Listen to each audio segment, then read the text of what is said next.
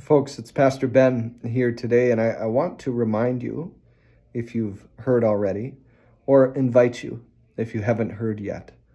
We're beginning uh, something very important here at Hope Lutheran this coming Sunday, uh, January 8th, starting at 5 p.m., and that's Alpha.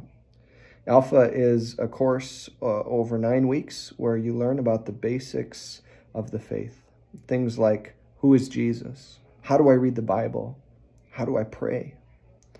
Now, I don't know if you're someone who's been connected to a congregation, who's been a believer for what seems like forever, or maybe you're a person who's brand new to faith, just discovering who Jesus is.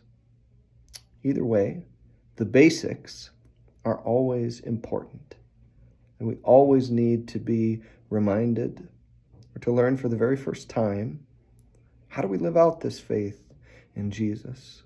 What does it all mean?